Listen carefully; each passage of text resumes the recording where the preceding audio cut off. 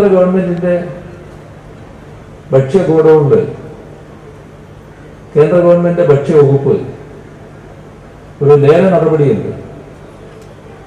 അതിൽ പങ്കെടുത്ത് അവർ തരുന്ന കൂടിയ വിലക്ക് അരി എടുക്കുകയാണ്. ആ അരി ന്യായമായ വിലക്ക് നമ്മുടെ എ പി എൽ വിഭാഗം എന്ന് പറയുന്നവർക്ക് കൊടുക്കുന്നു. ഇതാണ് പദ്ധതി. അപ്പൊ അത് എല്ലാ നടപടികളുമായി ഇത് തെരഞ്ഞെടുപ്പ് വരുന്നെന്ന് കണക്കാക്കി തീരുമാനിച്ചതല്ല. തെരഞ്ഞെടുപ്പ് ചിലപ്പോ കേന്ദ്ര ഗവൺമെന്റിന്റെ ഭക്ഷ്യ ഗോഡൌണിൽ കേന്ദ്ര ഗവൺമെന്റ് ഭക്ഷ്യ വകുപ്പ് ഒരു ലേല നടപടിയുണ്ട്. അതിൽ പങ്കെടുത്ത് അവർ തരുന്ന കൂടിയ വിലക്ക് അരി എടുക്കുകയാണ്. ആ അരി ന്യായമായ വിലക്ക് നമ്മുടെ എ ടി എൽ വിഭാഗം എന്ന് പറയുന്നവർക്ക് കൊടുക്കുന്നു. ഇതാണ് പദ്ധതി. അപ്പൊ അത് എല്ലാ നടപടികളുമായി ഇത് തെരഞ്ഞെടുപ്പ് വരുന്നെന്ന് കണക്കാക്കി തീരുമാനിച്ചതല്ല. തെരഞ്ഞെടുപ്പ് ചിലപ്പോ തെരഞ്ഞെടുപ്പ് കമ്മീഷൻ ഏപ്രിൽ ആറ് എന്ന് പ്രഖ്യാപിച്ചപ്പോഴാണല്ലോ നമ്മൾ ഏപ്രിൽ ആറിന് തെരഞ്ഞെടുപ്പ് എന്ന് സ്ഥിരപ്പെടുത്തുന്നത്. എന്നാൽ തെരഞ്ഞെടുപ്പുമായി ബന്ധപ്പെട്ട ആലോചനകൾ ആരംഭിക്കുന്നതിന് മുൻപ് തന്നെ ഈ പറയുന്ന അരി എ പി എൽ വിഭാഗത്തിന് കൊടുക്കാൻ തീരുമാനിച്ചത്. അതിനെ കോടതിയിൽ ചോദ്യം ചെയ്യപ്പെട്ടു. ഹൈക്കോടതിയിൽ തെരഞ്ഞെടുപ്പ് കമ്മീഷൻ പറയുന്നത് ഞങ്ങൾ തെറ്റിദ്ധരിച്ചതാണ്. പ്രതിപക്ഷ നേതാവ് ഇത് തെരഞ്ഞെടുപ്പ് സമയത്ത് തീരുമാനിച്ചതാണ് എന്ന് പറയുന്നു എന്നാണ് എൽ ഡി എഫ് പ്രകടന പത്രികയിലൂടെ പറഞ്ഞത്. അതിന്റെ ഭാഗമായി തൊഴിൽ രംഗത്ത് ധാരാളം പേര് തൊഴിൽ തേടി അറിയേണ്ടതായി വരുന്നുണ്ട്. ആ കാര്യത്തിൽ തൊഴിൽ അതിന്റെ ഭാഗമായി നാൽപ്പത് ലക്ഷം തൊഴിലവസരങ്ങൾ സൃഷ്ടിക്കും എന്നാണ് എൽ ഡി എഫ് വാഗ്ദത്തം ചെയ്തിരിക്കുന്നത്. ഇത് പല മേഖലകളിലാണ് നമ്മുടെ കാർഷിക രംഗം വലിയ തോതിൽ തൊഴിൽ സാധ്യതയുള്ള ഒരു മേഖലയാണ്.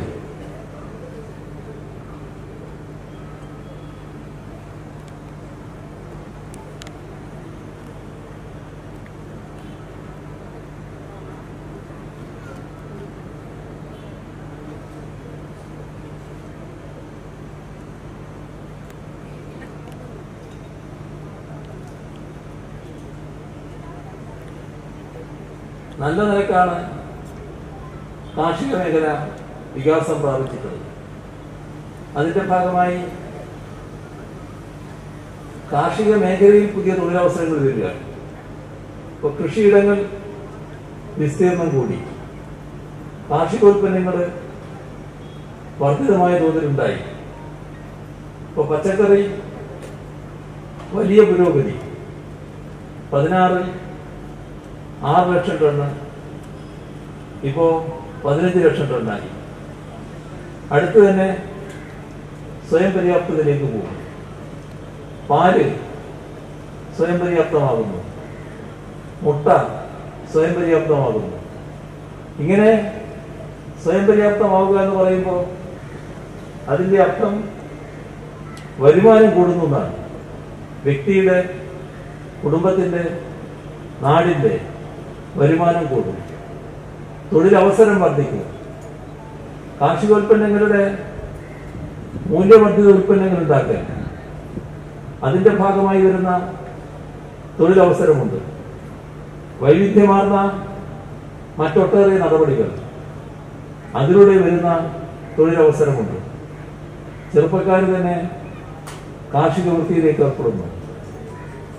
മടങ്ങി വന്ന പ്രവാസികൾ പലരും കാർഷിക മേഖലയിലോട്ട് തിരിയുന്നു ഇങ്ങനെ വലിയ തൊഴിൽ ദാതാവായി കാർഷിക രംഗം മാറുന്നത് എന്താണ് നാം ആദ്യമായി കാണേണ്ടത്.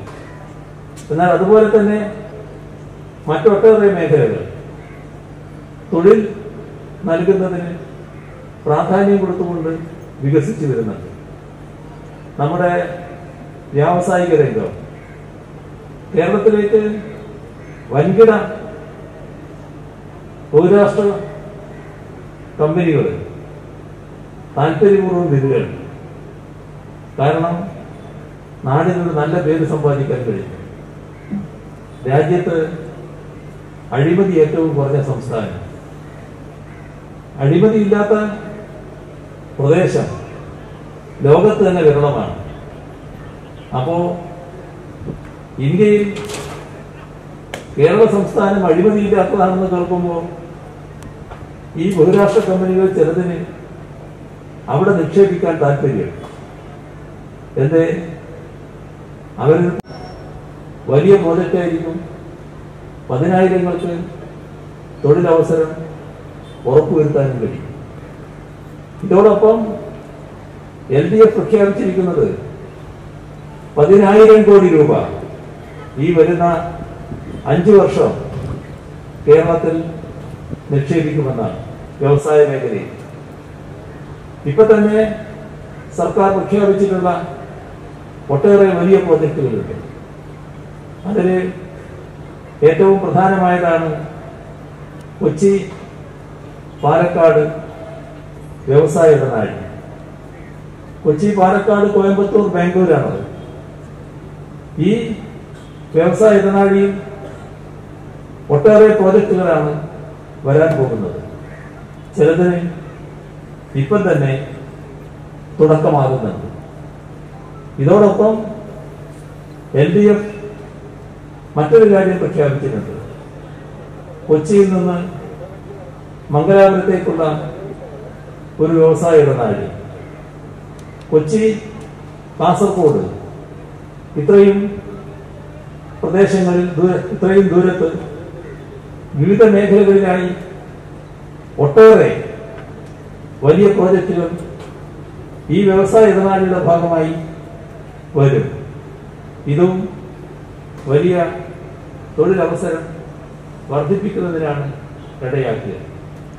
അപ്പൊ ആയിരക്കണക്കിൽ തൊഴിലവസരങ്ങൾ ഇത്തരത്തിലുള്ള ഓരോ പ്രോജക്റ്റിൽ തന്നെ ഉണ്ടാകുമെന്നതാണ് നാം പ്രധാനമായും കാണേണ്ടത്.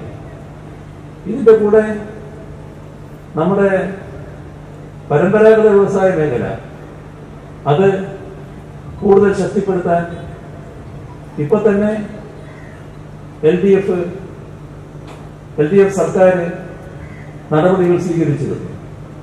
അതൊന്നുകൂടി ശക്തിപ്പെടുത്തും കൂടുതൽ തൊഴിലവസരങ്ങൾ ഉറപ്പുവരുത്തും എന്നാണ് എൽ ഡി എഫ് പ്രകടന പത്രികയിലൂടെ പ്രഖ്യാപിച്ചിരിക്കുന്നത്.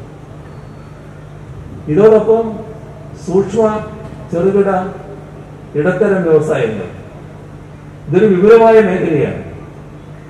അതിലൂടെ ഒന്നര ലക്ഷത്തോളം തൊഴിലവസരങ്ങൾ ഇപ്പൊ തന്നെ ഉറപ്പുവരുത്താൻ കഴിഞ്ഞിട്ടുണ്ട്. എൽ ഡി എഫ് പറയുന്നത് ആ മേഖല വികസിപ്പിക്കും കൂടുതൽ തൊഴിലവസരങ്ങൾ ഉണ്ടാക്കുമെന്നാണ്. അതിന്റെ അർത്ഥം പതിനായിരങ്ങൾക്ക് തൊഴിലവസരങ്ങൾ ഇതിലൂടെ ഉറപ്പുവരുത്താനാകുമെന്ന് തന്നെയാണ്. ഇതോടൊപ്പമാണ് നമ്മുടെ ഐ ടി മേഖലയെ കാണേണ്ടത്. ഐ ടി മേഖലയിലെ ലോകത്തുള്ള ഭീമന്മാരുണ്ട്. വലിയ കമ്പനികൾ. ആ കമ്പനികൾ കേരളത്തിൽ വരാൻ താല്പര്യം പ്രകടിപ്പിക്കുന്നു. ചിലർ വന്നു കഴിഞ്ഞു. അവരുടെ ഓരോ ക്യാമ്പസ് പതിനായിരവും പതിനയ്യായിരവും ഒക്കെ ആളുകൾ ജോലിയെടുക്കുന്ന ക്യാമ്പസ് ആയിരിക്കും. അങ്ങനെ ഉള്ള കമ്പനികളാണ് വരാൻ താല്പര്യം കാണിച്ചിട്ടുള്ളത്. ഇപ്പോ ടി സി എസ് ഇതുമായി ബന്ധപ്പെട്ട് ഒരു പ്രോജക്റ്റ് ഒപ്പിട്ടു. പതിനയ്യായിരം പേർക്കാണ് തൊഴിൽ നൽകുക എന്റെ നിർമ്മാണ പ്രവർത്തനങ്ങൾ ആരംഭിച്ചു കഴിഞ്ഞു. ഇത് ഇതുപോലുള്ള കമ്പനികളാണ് വരാൻ പോകുന്നത്. ഉറപ്പാണ് ലക്ഷക്കണക്കിൽ തൊഴിലവസരം ഐ ടി മേഖലയിൽ തന്നെ പ്രദാനം ചെയ്യാനാവും. കേരളത്തിലെ ഐ ടി മേഖല ലോകം ശ്രദ്ധിക്കുന്ന തരത്തിൽ വികസിപ്പിക്കാനാണ് എൽ ഡി എഫ് പ്രകടന പത്രിക ഉറപ്പു നൽകുന്നത്. അതിന്റെ ഭാഗമായി എറണാകുളം ഒരു സൈബർ വാലി തന്നെ ആരംഭിക്കുമെന്നും പ്രഖ്യാപിച്ചിട്ടുണ്ട് വലിയ മാറ്റം ഐ ടി രംഗത്ത് നമ്മുടെ നാട്ടിൽ സംഭവിക്കാൻ പോകുന്നു. ഇതോടൊപ്പം സ്റ്റാർട്ടപ്പുകൾ. ഇന്ത്യയിലെ ഏറ്റവും മികച്ച സ്റ്റാർട്ടപ്പ് രംഗം കേരളത്തിന്റെതാണ് എന്ന് രാജ്യം സാക്ഷ്യപ്പെടുത്തുന്നു. അതോടൊപ്പം നാം കാണേണ്ടത് കൂടുതൽ നിലയിലെ കൂടുതൽ നല്ല നിലയിലേക്ക് സ്റ്റാർട്ടപ്പ് ഉയർത്തും എന്ന് എൽ ഡി എഫിന്റെ പ്രഖ്യാപനമാണ്. യു ഡി എഫിന്റെ കാലത്ത് മുന്നൂറിലധികം സ്റ്റാർട്ടപ്പ് ആയിരുന്നു. എൽ ഡി എഫ് ഈ അഞ്ചു വർഷക്കാലം നാലായിരം. എൽ ഡി എഫ് പ്രകടന പത്രിക പറയുന്നത് അടുത്ത അഞ്ചു വർഷം പതിനയ്യായിരം സ്റ്റാർട്ടപ്പുകൾ ആരംഭിക്കുമെന്നാണ് സ്റ്റാർട്ടപ്പിന്റെ പ്രത്യേകത നമ്മുടെ ചെറുപ്പക്കാര് പഠനം കഴിഞ്ഞാൽ തൊഴിൽ തേടി പോവുകയല്ല. അവർ തന്നെ തൊഴിൽ ദാതാക്കളാവുകയാണ്. ഒരു പുതിയ സംസ്കാരം പഠിക്കുമ്പോൾ തന്നെ സ്റ്റാർട്ടപ്പുകൾ രൂപീകരിച്ചുകൊണ്ട് നമ്മുടെ കേരളത്തിൽ ആരംഭിക്കുന്നു. എല്ലാ സഹായവും പിന്തുണയും സർക്കാർ സ്റ്റാർട്ടപ്പുകൾക്ക് നൽകുന്നു. ഇതോടൊപ്പം കേരളത്തിലെ തദ്ദേശഭരണ സ്ഥാപനങ്ങൾ തൊഴിൽ നൽകുന്നതിൽ പങ്കുവഹിക്കാനുണ്ട്. നേരത്തെ പ്രഖ്യാപിച്ചതായിരുന്നു കോവിഡ് വന്നുകൊണ്ട് നമുക്ക് നടപ്പാക്കാനായില്ല. ഇപ്പോൾ സർക്കാർ പറഞ്ഞിട്ടുള്ളത് ഏപ്രിൽ മുതൽ അടുത്ത സാമ്പത്തിക വർഷം ഇത് നടപ്പാക്കി തുടങ്ങണമെന്നാണ്. ജനസംഖ്യാനുപാതികമായി ഓരോ തദ്ദേശഭരണ സ്ഥാപനവും തൊഴിൽ നൽകണം. ആയിരം ആൾക്ക് അഞ്ച് തൊഴിൽ. അങ്ങനെ എത്രയാണോ ജനസംഖ്യ അതിനാനുപാതികമായി തൊഴിൽ നൽകുന്ന നിലവാണ് ഇത് വലിയ പ്രയാസമില്ലാതെ നടപ്പാക്കാൻ കഴിയുന്നൊരു കാര്യമാണ്. ഇതിന്റെ ഏറ്റവും ഗുണപരമായ വശം. പുതിയ സംരംഭങ്ങൾ വരുമ്പോൾ ചിലയിടത്ത് അനാവശ്യമായ ഒരു മസിപ്പിടുത്തമുണ്ട് അതങ്ങ് ഒഴിവായി കിട്ടും. കാരണം പുതിയ സംരംഭം ആവശ്യമാണ്. നമ്മുടെ നാട്ടിൽ തൊഴിലവസരം വർദ്ധിക്കുന്നതാണ്. അത് നാടിനാവശ്യമാണ് എന്ന ഒരു പൊതുബോധത്തിലേക്ക് നമുക്ക് എല്ലാവർക്കും മാറാനത് സഹായകമാകും. ഇതിന്റെ കൂടെ കോവിഡ് നൽകിയ ഒരു അവസരം അത് ഉപയോഗിച്ചാലോ എന്ന് സർക്കാർ ആലോചിക്കുകയുണ്ടായി കോവിഡ് ഒരുപാട് ബുദ്ധിമുട്ട് നമുക്ക് പ്രദാനം ചെയ്തതാണ്. എന്നാൽ ഒരു കാര്യം അത് നമ്മുടെ നേരത്തെയുള്ള കൂറ്റൻ കെട്ടിടങ്ങൾ പതിനായിരങ്ങളും പതിനയ്യായിരം ഒക്കെ വർക്ക് ചെയ്ത സ്ഥലം. ഇപ്പൊ അവിടെ ആളില്ല. ആകെ നൂറിൽ താഴെ ആൾ മാത്രമേ അവിടെ പ്രവർത്തിക്കുന്നുള്ളൂ. ബാക്കി സകലമായ പേരും വീട്ടിലാണ്. ഒരു പുതിയ തൊഴിൽ സംസ്കാരം വന്നിരിക്കും വീട്ടിൽ നിന്ന് തൊഴിലെടുക്കുക. നേരത്തെ തൊഴിൽ കേന്ദ്രത്തിൽ പോയി തൊഴിലെടുക്കലാണ്. അതിനു പകരം വർക്ക് ഫ്രം ഹോം ഇതുമായി എല്ലാവരും ബന്ധപ്പെട്ട് കഴിഞ്ഞു. തൊഴിലെടുക്കുന്നവരും തൊഴിൽ ദാതാക്കളും അപ്പോഴാണ് അത് വെച്ചുകൊണ്ട് സർക്കാരിന് ഒരു ആശയം തോന്നിയത്. അതായത് നമ്മുടെ കേരളത്തിൽ ധാരാളം അഭ്യസ്ത വിദ്യ തൊഴിലില്ലാതെ കിടക്കുന്നുണ്ട്. പ്രത്യേകിച്ച് സ്ത്രീകൾ ചിലർ നേരത്തെ തൊഴിലുണ്ടായവരാണ്. കല്യാണം കഴിഞ്ഞ് തൊഴിൽ വേണ്ടെന്ന് വെച്ചു. കുഞ്ഞു പുറമെ തൊഴിൽ വേണ്ടെന്ന് വെച്ചു. ഇങ്ങനെ പല കാരണങ്ങളാൽ തൊഴിൽ വേണ്ടെന്ന് വെച്ചവരുണ്ട് ഇവരെല്ലാവരും തൊഴിൽ ആഗ്രഹിക്കുന്നവർ ഒരു പോർട്ടൽ ഗവൺമെന്റ് തുടങ്ങും. ആ പോർട്ടലിൽ തൊഴിൽ ആഗ്രഹിക്കുന്നവർ അവരുടെ പേരും വിദ്യാഭ്യാസ യോഗ്യതയും മറ്റു വിവരങ്ങളും ഒക്കെ കാണിച്ച് രജിസ്റ്റർ ചെയ്യാം അതോടൊപ്പം സർക്കാർ തന്നെ ലോകത്തെ തൊഴിൽ ദാതാക്കളെ ബന്ധപ്പെടും. അവർ പോർട്ടലിന്റെ ഭാഗമായി വരും. ഉദാഹരണത്തിന് ഒരു കമ്പനിക്ക് മുന്നൂറ് ആളെ വേണം. അവർ വിദ്യാഭ്യാസ യോഗ്യത പറയുന്നു. ആ വിദ്യാഭ്യാസ യോഗ്യതയുള്ളവരുടെ വിവരങ്ങളാകെ പോർട്ടൽ ആ കമ്പനിക്ക് കൈമാറും. കമ്പനി പരിശോധിച്ച് യോഗ്യരായവരെ കമ്പനി തിരഞ്ഞെടുക്കും. ഒരു പ്രശ്നം ചിലപ്പോൾ വരാം. ഈ ആളുകളുടെ നൈപുണ്യത്തിൽ നിന്ന് മങ്ങൽ വന്നിട്ടുണ്ടാവും. കാരണം പഠിച്ചിട്ട് കുറച്ചായി. തൊഴിൽ നേരത്തെ ഉണ്ടായിരുന്നുവെങ്കിൽ അതില്ലാതായിട്ടും കുറെ കാലമായി. അപ്പൊ അവരുടെ നൈപുണ്യ വികസനം നടക്കണം. അതിനാവശ്യമായ പരിശീലനം സർക്കാർ നൽകും. ഇതോടൊപ്പം തന്നെ അത് കണ്ടിട്ടുണ്ട് ഇവിടെ ഇതൊരാശയമായിട്ടാണ് ആദ്യം ഉണ്ടായതെങ്കിൽ ഇപ്പോ പ്രയോഗത്തിൽ വന്നു കഴിഞ്ഞു.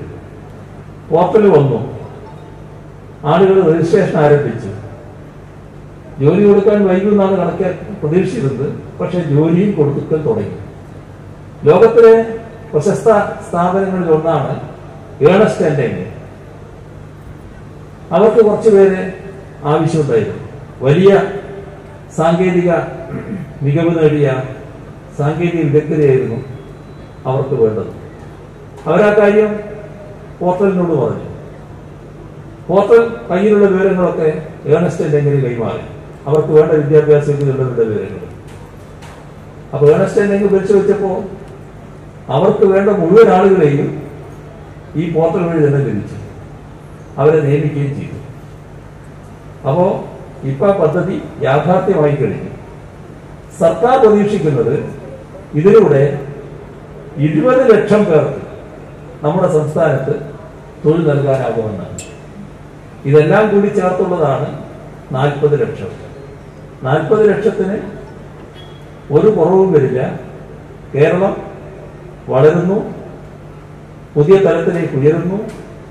നമ്മുടെ നാട് തൊഴിൽ തേടി യുവത അലയേണ്ടതില്ലാത്ത ഒരു നാടായി മാറും. ഇതാണ് എഫ് കാണുന്ന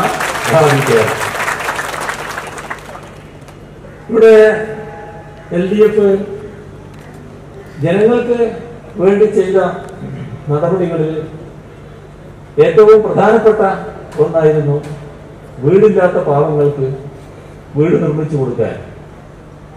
ആരംഭിച്ച ലൈഫ് മിഷൻ. അതിലൂടെ രണ്ടര ലക്ഷത്തിലധികം വീടുകൾ ഇപ്പോ നിർമ്മിച്ച് നൽകി കഴിഞ്ഞു യഥാർത്ഥത്തിൽ ആ വീടുകൾ നമ്മുടെ അത്രയും അത്രയും കുടുംബങ്ങൾ ആ വീടുകളിൽ താമസിക്കുകയാണ്. എന്നാൽ ഇതിനോടൊപ്പം തന്നെയുള്ള ഒരു ഒന്നര ലക്ഷത്തോളം വീട് പണി പൂർത്തിയാക്കേണ്ടത് ആ പണി നടന്നുകൊണ്ടിരിക്കും ഈ വർഷം പൂർത്തിയാവും. ചിലര് ഞങ്ങൾ വിട്ടുപോയി. അതുകൊണ്ട് ഞങ്ങളെ കൂടി ഇതിൽ പെടുത്തണമെന്ന് പറഞ്ഞപ്പോൾ പുതിയ അപേക്ഷ ക്ഷണിക്കാൻ തീരുമാനിച്ചു. ലഭിച്ച അപേക്ഷ പരിശോധിച്ചുകൊണ്ടിരിക്കുകയാണ്. അതിൽ അർഹതയുള്ളവർക്ക് വീട് നൽകും എന്ന് സർക്കാർ നേരത്തെ പ്രഖ്യാപിച്ചിട്ടുണ്ട്. ഇക്കാര്യത്തിൽ എൽ ഡി എഫ് ഇപ്പോ പ്രകടന പത്രികയിലൂടെ പ്രഖ്യാപിച്ചിട്ടുള്ള കാര്യം അടുത്ത അഞ്ചു വർഷം. അഞ്ച് ലക്ഷം വീടുകൾ കൂടി ഈ പാവപ്പെട്ടവർക്ക് നൽകുമെന്നാണ്. ഇതൊക്കെ എൽ ഡി എഫിനല്ലാതെ മറ്റാർക്ക് കഴിയും യു ഡി എഫിന് പറ്റുമോ? യു ഡി എഫ് പറഞ്ഞത് ഞങ്ങൾ അധികാരത്തിൽ വന്നാൽ ലൈഫ് മിഷൻ പിരിച്ചുവിടുന്നതാണ്. അതാണ് അവരുടെ മനോഭാവം. പാവങ്ങളോട് കഴിയില്ലായിരുന്നു ഓർത്താ മതി പഴയ പതിനാറിലെ അവരുടെ ഗവൺമെന്റ് അവസാന കാലം ഇവിടെ ക്ഷേമ പെൻഷൻ അറുന്നൂറ് രൂപയായിരുന്നല്ലോ. ആ അറുന്നൂറ് രൂപയിൽ അതൊരു കഞ്ഞിക്കുള്ള വകയാണല്ലോ. അത് കൊടുത്തോ മര്യാദയ്ക്ക്? ആ കഞ്ഞിമുടി മുട്ടിച്ചില്ലേ? എത്ര മാസത്തെ കുടിശ്ശിക? പതിനെട്ട് മാസം ഒന്നര കൊല്ലം. എൽ ഡി എഫ് സർക്കാർ വന്നപ്പോ ആദ്യം ചെയ്തത് ആ പതിനെട്ട് മാസത്തെ പെൻഷനും ഒന്നിച്ചും കൊടുത്തു തീർക്കലായി അതാണ് പിന്നെ അറുന്നൂറിൽ നിന്ന് കയറി ആയിരത്തി അറുന്നൂറിലേക്ക് എത്തിയത്. ഈ ആയിരത്തി അറുന്നൂറ് രണ്ടായിരത്തി അഞ്ഞൂറിലേക്ക് മാറും ഉയരും എന്നാണ് എൽ ഡി എഫ് പ്രഖ്യാപിച്ചിരിക്കുന്നത്. ഇതാണ് പാവങ്ങളോട് പ്രതിബദ്ധതയുള്ള ഒരു സർക്കാരായാൽ ചെയ്യുന്നത്. പ്രതിബദ്ധത ഇല്ലെങ്കിൽ ചെറിയ സംഖ്യയായാൽ പോലും അത് കൊടുക്കില്ല അത് മുട്ടിച്ചു കളയും എന്നതാണ് നാം കാണേണ്ട കാര്യം. ഇവിടെ ലൈഫ് മിഷന്റെ വീടുകളുമായി ബന്ധപ്പെട്ട് ചിലരിപ്പോൾ അതിന്റെ ഒരു അവകാശം സ്ഥാപിച്ചെടുക്കാൻ വേണ്ടി ശ്രമം നടത്തും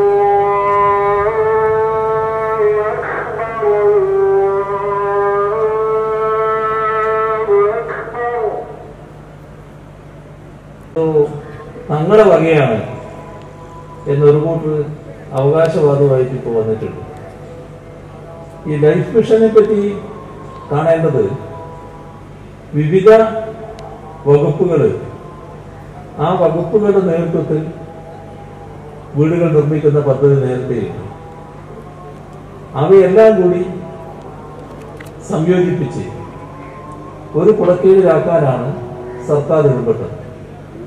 അപ്പോ കേന്ദ്രത്തിന്റെ പദ്ധതിയുണ്ട്. പി എം എ വൈ അർബനും റൂറലും. അതുകൂടി ഇതിന്റെ കീഴിലാക്കാം. ഇതിനോടൊപ്പം ചേർക്കാം.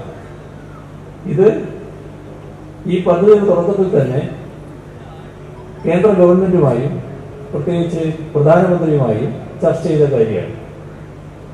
ഇത്തരത്തിൽ വീട് നിർമ്മിച്ച് നൽകുന്നതിന് സർക്കാർ കണ്ടത് നാല് ലക്ഷം രൂപ ചെലവഴിക്കണമെന്നാണ് ഇങ്ങനെ ഇപ്പോൾ രണ്ട് ലക്ഷത്തി അൻപത്തി രണ്ടായിരത്തി എഴുന്നൂറ്റി നാൽപ്പത്തെട്ട് വീടുകൾ ലൈഫ് മിഷൻ ഈ പദ്ധതി പ്രകാരം പൂർത്തീകരിച്ചിട്ടുണ്ട്. ഇതിൽ പി എം എ വൈ അർബനും പി എം എ വൈ റൂറലും ഇത് വെച്ചുകൊണ്ടാണ് കേന്ദ്രത്തിന്റെ നേരവകാശികൾ ഞങ്ങളാണല്ലോ എന്ന് പറഞ്ഞുകൊണ്ട് ചില ബി ജെ പിക്കാര് ഇത് ഞങ്ങളെ പണം കൊണ്ട് ഉണ്ടാക്കിയതാണ് എന്ന് പറയുന്നത്. അതുകൊണ്ട് അതെന്താണെന്ന് മനസ്സിലാക്കുന്ന നല്ലതാണ്. അതുകൊണ്ട് മാത്രം ചില കണക്കുകൾ ഞാൻ പറയാം ഇവിടെ ഈ നാല് ലക്ഷം രൂപ സംസ്ഥാന സർക്കാരിന്റെ വിഹിതം മാത്രം ഉപയോഗിച്ചുകൊണ്ട് പൂർത്തീകരിച്ചത് ഒരു ലക്ഷത്തി എഴുപതിനായിരത്തി നാനൂറ്റി ഇരുപത്തി ഏഴ് വീടാണ്. രണ്ട് ലക്ഷത്തി അൻപത്തിരണ്ടായിരത്തിലാണ് ഒരു ലക്ഷത്തി എഴുപതിനായിരം സംസ്ഥാന സർക്കാരിന്റെ വിഹിതം മാത്രം. ബാക്കിയുള്ളതിലാണ് പി എം എ വൈ അർബനും പി എം എ വൈ റൂറലും വരുന്നത്. പി എം എ വൈ അർബന് അതിന്റെ ഭാഗമായി അറുപത്തിനാലായിരത്തി തൊള്ളായിരത്തി അറുപത്തി ആറ് വീടുകളാണ് നിർമ്മിച്ചത്. എത്രയാ കേന്ദ്രത്തിലെന്ന് അറിയാം ഒന്നര ലക്ഷം രൂപ. ബാക്കി രണ്ടര ലക്ഷം രൂപ സംസ്ഥാന സർക്കാരാണ് അതിൽ വഹിക്കുന്നത്. ഇപ്പൊ രണ്ടര ലക്ഷം കൊടുത്തയാളാണോ ഒന്നര ലക്ഷം കൊടുത്തയാളുടെ കണക്കിലാണോ അത് വരേണ്ടത് എന്ന് ഈ പ്രചാരകര് ഒന്ന് കണക്ക് കൂട്ടിയാൽ മതി.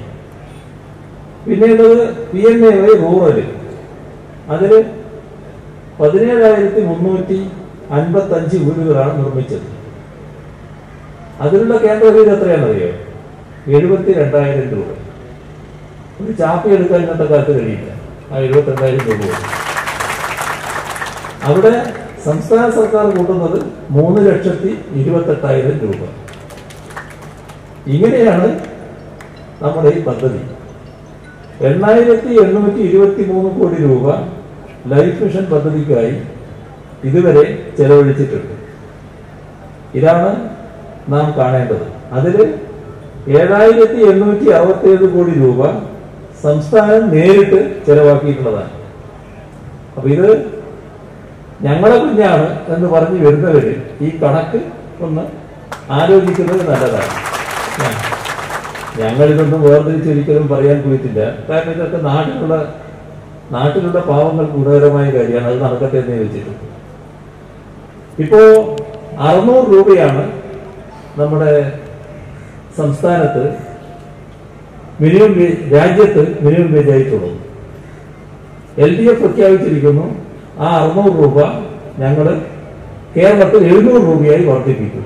അതായത് ദിവസം നൂറ് രൂപയുടെ വർധനവ് ഈ മിനിമം വേജ് കേരളത്തിൽ ഉണ്ടാകാൻ പോവുക ഇങ്ങനെയുള്ള ഒരു മാറ്റം പല തലങ്ങളിലും കേരളത്തിൽ ഉണ്ടായിട്ടുണ്ട്. ഈ മാറ്റം ഇതൊരു പല മേഖലയിലും വിജയമാണെങ്കിൽ ആ വിജയം അതിന്റെ നേരെ അവകാശികൾ നാടും നാട്ടുകാരുമാണ്. കാരണം ബഹുജനങ്ങളുടെ ഒരുമയും ഐക്യവുമാണ് ഇത്തരത്തിൽ വിജയിക്കുന്നതിന് ഇടയാക്കിയിട്ടുള്ളത്. അതുകൊണ്ട് തന്നെ ആ ഒരുമയും ഐക്യവും ഇനിയും തുടരേണ്ടതായിട്ടുണ്ട്. ഇവിടെ നിന്ന് എങ്ങോട്ട് പോകണം? എൽ ഡി എഫ് പറയുന്നത് കൂടുതൽ ഉയരത്തിലേക്ക് പോകണം. നമ്മുടെ നാടിനെ ലോകോത്തര നിലവാരത്തിലേക്ക് എത്തിക്കണം. അതിന്റെ ഭാഗമായി നാട്. ഇന്നത്തെ ആധുനിക ലോകത്തിലെ വികസിത രാഷ്ട്രങ്ങളുണ്ട്.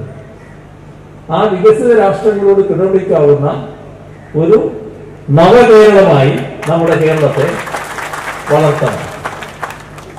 ഇതേവരെയുള്ള എല്ലാ കാര്യങ്ങൾക്കും സംസ്ഥാന സർക്കാരിന്റെ നേതൃത്വത്തിൽ തന്നെ പ്രവർത്തിച്ച പ്രതി മന്ത്രിയാണ് നിങ്ങൾ നിങ്ങളുടെ പ്രതിനിധിയായി ഇവിടുന്ന് നേരത്തെ തെരഞ്ഞെടുപ്പ് അയച്ചിട്ടുള്ളത് അദ്ദേഹം തന്നെയാണ് ഇപ്പോഴും ഇവിടെ മത്സരിക്കുന്നത്. സഖാവ് ചന്ദ്രശേഖരനെ അരിവാൾ ധാന്യകതിർ അടയാളത്തിൽ വോട്ട് രേഖപ്പെടുത്തി കൂടുതൽ ഭൂരിപക്ഷത്തോടെ വിജയിപ്പിച്ച് ഈ നവകേരള നിർമ്മിതിയുടെ ഭാഗമാകാൻ നിയമസഭയിലേക്ക് അയക്കുക എന്ന് അഭ്യർത്ഥിച്ചുകൊണ്ട് അവസാനിപ്പിക്കുന്നു. നിങ്ങൾക്ക് അധികാരം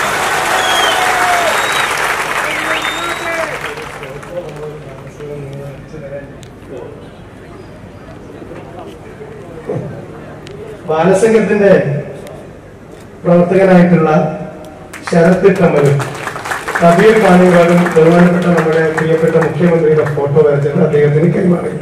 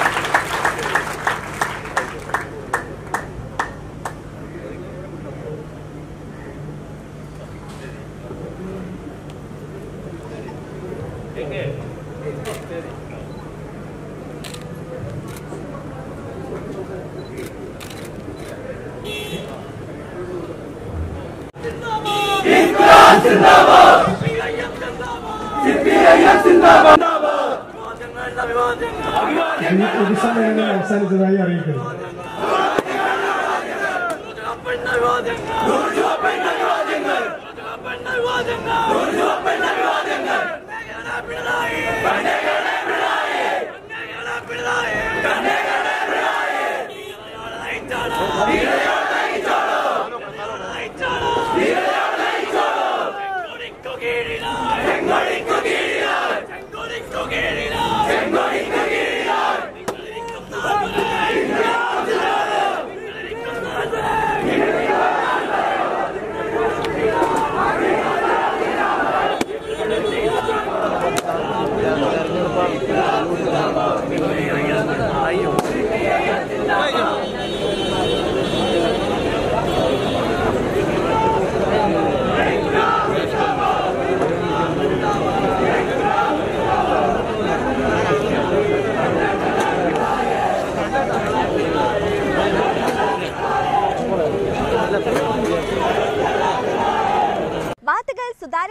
സുവ്യക്തമായും അറിയാൻ നാഷണൽ ന്യൂസ് ചാനൽ ഇനിയും സബ്സ്ക്രൈബ് ചെയ്തില്ലെങ്കിൽ എത്രയും പെട്ടെന്ന് തന്നെ സബ്സ്ക്രൈബ് ചെയ്യുക. ഒപ്പം കാണുന്ന ബെല്ലൈക്കണും ക്ലിക്ക് മറക്കല്ല